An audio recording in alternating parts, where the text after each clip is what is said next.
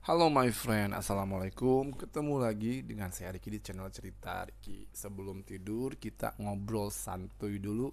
Yang pastinya ngobrol yang ada manfaatnya buat saya Juga buat my friend. Cerita Riki. Ya di episode kali ini saya mau ngebahas tentang rekalibrasi pulang. My friend Program rekalibrasi pulang sudah mendekati uh, saat-saat uh, terakhirnya ya program rekalibrasi pulang yang dulu dimulai sejak tanggal 16 November 2020 akan segera berakhir di bulan Juni tahun ini, tepatnya tanggal 30 Juni 2022. Nah, buat teman-teman my friends yang saat ini tinggal di Malaysia ya dengan kondisi kosongan, nggak punya permit, nggak punya izin tinggal, nggak punya visa, bahkan mungkin nggak punya paspor ya. Ya buat kondisi seperti ini, my friends harus mau tidak mau, suka nggak suka, tidak punya pilihan lain, melainkan harus segera mempersiapkan diri untuk pulang ke Indonesia dengan ikut program rekalibrasi pulang ini. Kenapa masih program rekalibrasi pulang? Karena program ini adalah program resmi dari kerajaan Malaysia. Ya, dan belum tentu setelah program ini habis akan ada program pengampunan lain. Mungkin akan ada tapi nggak tahu kapan. Mungkin bisa jadi tahun depan atau bahkan lima tahun kemudian. Karena biasanya kerajaan Malaysia membuat program seperti ini dalam jangka waktu per lima tahun sekali, begitu ya. Nah, jadi my friend nih yang udah tinggal lama overstay di Malaysia, buruan deh my friend. Demi kebaikan kamu sendiri, sebaiknya kamu segera mempersiapkan diri, mempersiapkan dokumen-dokumen yang diperlukan untuk pulang dengan program rekalibrasi pulang. Alasan lain kenapa harus ikut program rekalibrasi pulang ini buat para ilegal yang kosongan karena pembayaran komponnya murah hanya 500 ringgit saja. Mau overstay udah puluhan tahun pun tetap bayarnya 500 ringgit aja. Nah kalau tidak ada program ini maka dendanya akan sangat mahal sekali ya. Satu hari 30 ringgit.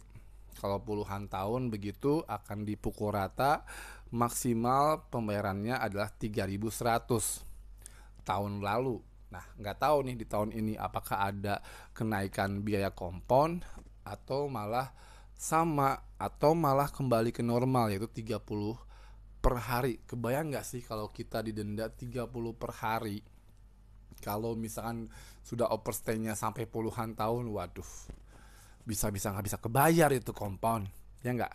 Dan kemudian kalau enggak ikut program rekalibrasi pulang ini resikonya yang lain adalah tertangkap oleh bagian immigration atau kepolisian Malaysia karena setelah program ini selesai akan diadakan operasi rajia besar-besaran baik oleh pihak immigration Malaysia maupun pihak kepolisian di Malaysia yang akan menjaring dan menangkap semua warga negara asing yang statusnya itu kosongan atau ilegal begitu. Resikonya apa kalau ketangkap? Di penjara my friend. Ada yang dua tahun ada yang setahun gitu ya. Dan juga yang pasti kita jadi punya catatan kriminal. Kalau udah punya catatan kriminal mau ngapain aja mau ke mana aja akan susah. Begitu ya. Dan akan dideportasi pastinya ya. Begitu. Dan selain itu juga akan dikenakan denda yang nggak murah dan kasihan juga keluarga kita di Indonesia ya kalau kita sampai tertangkap. Jadi hanya ada dua pilihan yaitu pulang dengan program rekalibrasi pulang atau di penjara. Jadi my friend, sahabat cerita Riki, my friend yang saya cintai, saya nggak mau teman-teman saya di sini uh, tertangkap ya, apalagi yang khususnya bagi yang mereka yang ilegal ya tertangkap dan juga uh, mengalami hal-hal yang yang buruk di Malaysia. Jadi sebaiknya patuhi aturan di tempat kamu berpijak dan juga manfaatkan kesempatan ini untuk ikut program rekalibrasi pulang. Dengan membayar kompon 500 ringgit aja kamu sudah bisa pulang ke Indonesia. Mau overstay berapa puluh tahun pun bisa pulang hanya dengan bayar 500 ringgit aja oke syaratnya apa aja AA kalau mau ikut program rekalibrasi pulang ini? Yang pertama pastinya harus punya paspor.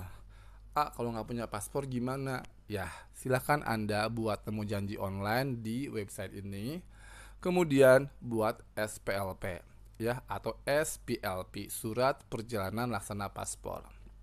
Oke Biaya SPLP pun murah hanya 30 ringgit aja gitu ya Kemudian setelah punya SPLP bukan tinggal di Malaysia setahun karena lihat SPLP masa hidupnya satu tahun itu bukan berarti kamu bisa tinggal di Malaysia satu tahun ya. Itu hanya masa berlaku SPLP-nya bukan masa tinggal kamu ya. Setelah buat SPLP langsung urus kepulangan. Beli tiket. Oke beli tiket kemudian juga dua hari sebelum kamu terbang ke Indonesia buat RT PCR test. Karena saat ini di Indonesia masih diwajibkan membuat RT PCR test. Dua hari sebelum terbang ya. Biayanya RT-PCR test ada yang 160 ada yang 180 ada yang 230 beda-beda tempat beda-beda klinik ya.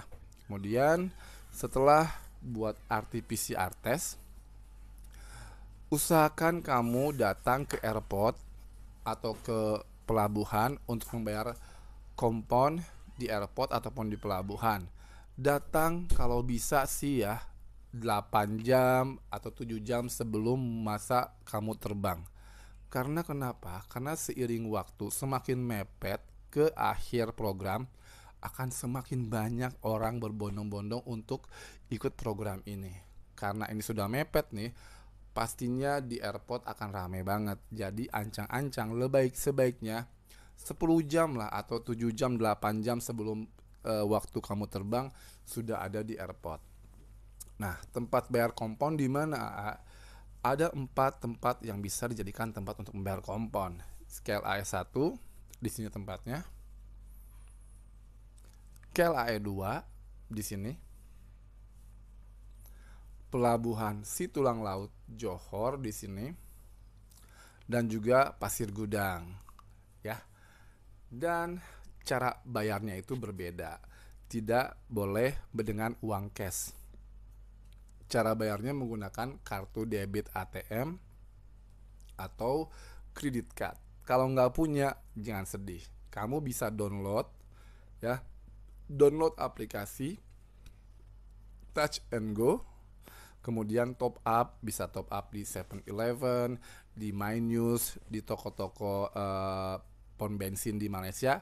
Top up dengan harga 500 ringgit pas.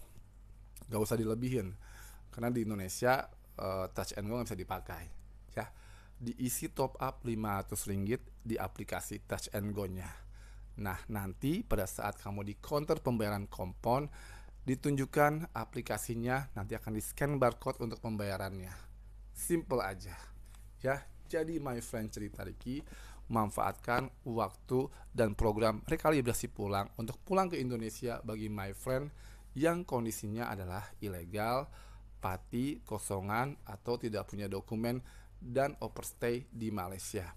Paham ya? Oke, kalau masih bingung bisa tanya di Facebook fanpage AA ini cerita Riki atau juga follow Instagram AA yang baru namanya cerita Riki atau kan Riki official new atau juga bisa lihat TikTok AA atau juga ikuti live AA di TikTok di TikTok cerita Ricky.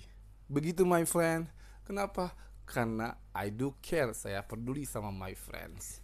Jangan lupa di-share ke teman-teman kamu video ini, di like and subscribe channel cerita Ricky biar kamu menjadi tahu. Pamit, assalamualaikum. Selamat hari raya Idul Fitri. Maafin loh.